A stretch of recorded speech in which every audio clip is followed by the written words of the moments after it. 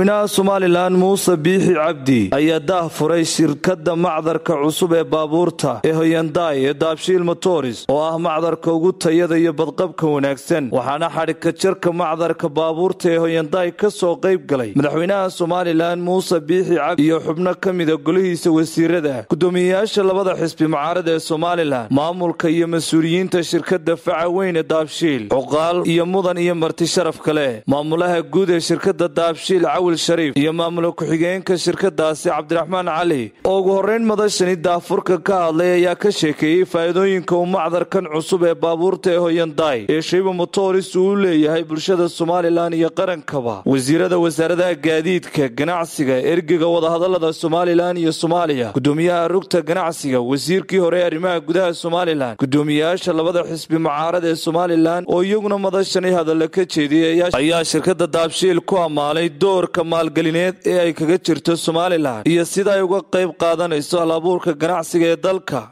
Intii uu jiray ifafaalaha lagu abuurayo shirkaddan oo ahayd muddada labada sana ah waxaa si weyn looga baaraandegay oo la isweydiiyey oo ahayd su'aal aad u mudan marka la eego suuqyada gaadiidka baabuurta aan idhaahdee waxaa ka jira dalka baabuur aad u badan oo buuxdhaafsan su'aashii waxay noqonaysaa maxay soo kordhinaysaa baabuurtan kale ee lagu soo kordhinaya?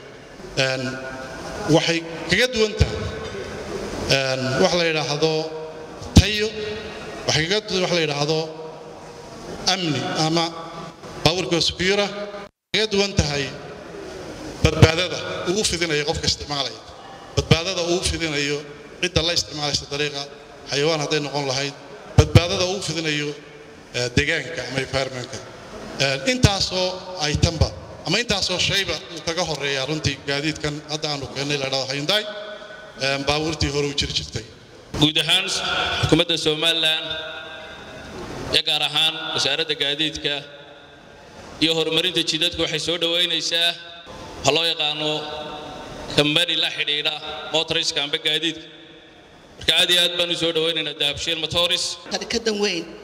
Ee dahabshiil group ay somaliland inoo keeneen maanta waxay ka mid tahay horumarka badan ee sharikadda dahabshiil dahabshiil group ay somaliland u keeneen. Gudoomiyaha guud ee shirkadda daabshiil xaaji saciid maxamed ducaale oo isaguna madashani daafurka hadalla ka jeediyey ayaa yidhi baabuurtii sida wasiirkii gaadiidku sheegay baabuurta duugga ee sannadaha badan socotay ee lagu soo tuuray dalkeenna waxaan filayaa inay tani tii beddeli doonta ay tahay.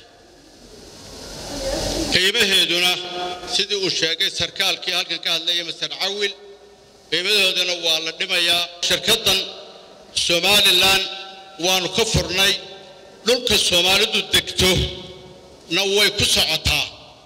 Halkan waxyaabaha aannu ugu dhiirinnay bilowgeedu waxa weeye nabadgelyada oo ilaahay mahaddii de wax lagu dhiiradaa. Shirkaddaa markii aannu hawsheeda ku jirnay inta qudha ay naga aqbashay waxay aqbashay.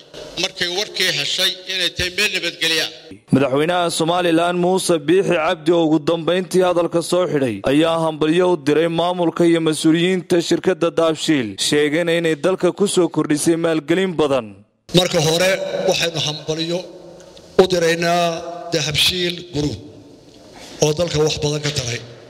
Waxaanu u ducaynaynaa dahabshiil guruub oo maanta halkan isugu yeedhay inuu hawl ganacsi oo weyn oo dalka wax taraysa oo kala furayna waa u ducaynaynaa waanu hambaliyeynaynaa dahabshiil combany iyo gruubkiisa iyo daala airline waynu ognahay halkay nagala soo dabaasheen maalmihii adkaa ee dalka eber laga bilaabayay ee aan station blas dhisnayn ee aan jeel dhisnayn ee aan xukun kala soconin ee dadku dagaalkii ka soo doogay ee guri qurasa qabsaarayn eean magaalooyinku isu gudbayn iloobi maayo qofkii joogay dhallinyaroy dahabshiiliyo daalo. Axmed daahir nuux nasabka star t v hargeysa